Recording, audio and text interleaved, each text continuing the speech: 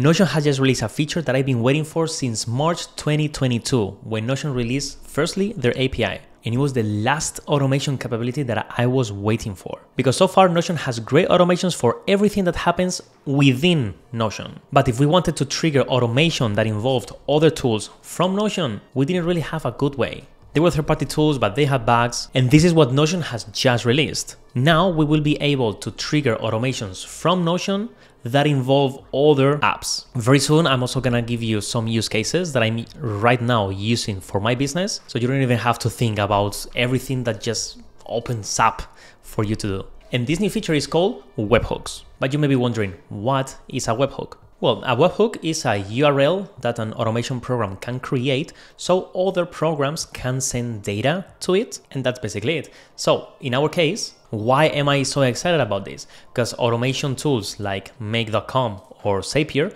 can create those webhook URLs, so tools like Notion can send the data of any of their database records to this webhook URL. And then within Make, we can have the trigger being a webhook, and then we can trigger whatever automation. For example, this automation creates a contract for the lead that have triggered this automation from within Notion. I'm gonna show you in a little bit how to do that. Because before what happened, we could have a trigger in make that will trigger whenever something is modified within Notion. But the way that it worked is that we will have to set a frequency for that trigger. So let's say every 15 minutes or every hour, that is going to be checking Notion's database to see if there has been any change. And then we have to filter the change that we are looking for, for example, a status change. But now with webhooks, we can actually just trigger this automation when, for example, that status changes to this particular status and it is going to be instantaneously. Before it would have been very, very expensive to do this because we will have to query the database over and over and we will be charged for all those queries and most of them are going to be empty. But now we can do this instantaneously and almost for free. Okay, so let's say how to set this up inside of Notion. There are currently two ways to trigger a webhook. The first one is through these automations. And this only works in, in databases, of course.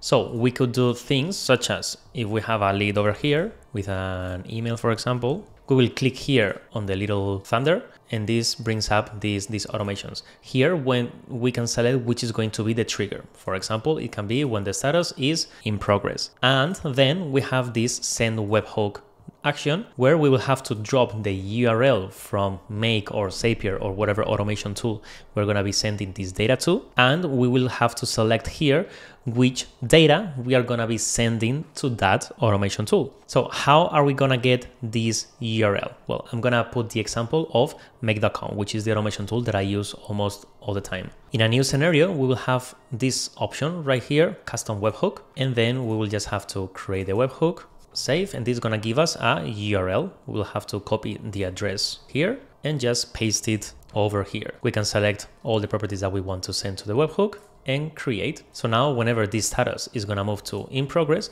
this automation is going to trigger and this is going to receive the data. That is it. He's received the, the data. And now from here, we have the data from that record and we can build whatever automation we want with the thousands and thousands of integrations that uh, make.com has. Another way to trigger webhooks is via buttons. So we could have a button property and if we edit the automation, the trigger is whenever the button is clicked. And here we can also send a webhook. We can send it to the same, same, and that's it. So this is useful whenever we want to trigger an automation automatically. Let's say, I don't know, this is gonna be create invoice, for example. So we will click here, take all the data from this particular record and the automation on the other side this one is going to create an invoice with an invoicing software or even using Google Docs, a template or something. So this is very useful for whenever we want to trigger things manually. And the third way that we can trigger webhooks is via a button situated whatever. When button is clicked, we can send a webhook with the, all the same data. And this button is gonna send to the webhook the data of the page that the button So basically this and this, since both point to the same webhook URL, these two buttons are gonna do exactly the same. Okay, so now I'm gonna show you the main use cases that I'm using webhooks for. Within my leads database, I have a status property with all these different statuses. So I want to create contracts automatically from here. So just with a click of a button, this lead is gonna have the contract for the services that I'm gonna provide to him. So this is gonna reduce so much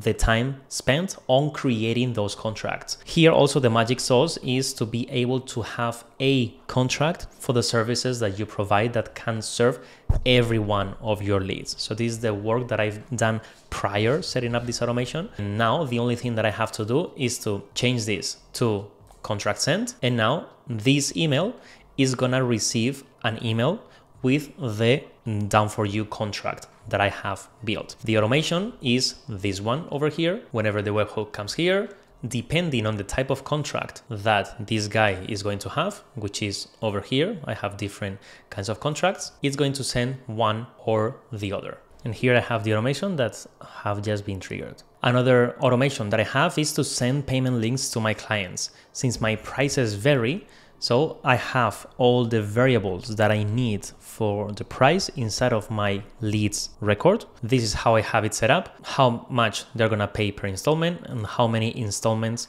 they are going to have. So with this information, I have just to change the status to payment link sent and this is going to trigger this beauty of an automation. This is done in Zapier, but you see, it doesn't really matter because all these automation tools can catch webhooks. And then depending on whether it's full or payment plan or something, then this is going to create the product in Stripe, create the price in Stripe and create the payment link and send that link on an email to the client. So this easily saves me like 15 minutes every time that this automation runs and I just have to change a status here. Or even better, I have a button over here that kicks off this automation. I have built for some clients even like creating reports of data that they have within Notion so they can send to a client. Because then, for example, imagine that you trigger this automation from a client's record and that client is linked to all the tasks that you have done in the past week let's say.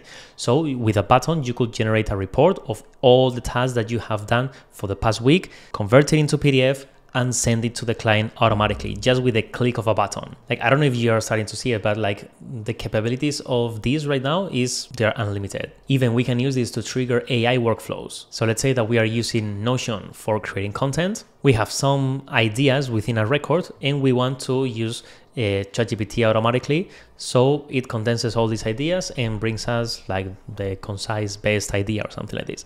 So we could trigger this from Notion. Then make is gonna call ChatGPT with the same prompt, and then and then it's going to bring the answer back to Notion in like 10 seconds. So, well, if you find more use cases, please drop them in the comments. There are thousands. Well, if you have liked this automation, this is what I've been doing for almost five years, helping businesses with their systems. If you want to know the process that we always follow that never fails to systemize a service business, you will find in the description of this video the process that we always follow so you can follow it too. And well, that is it for this video, guys. And as always, hasta la próxima.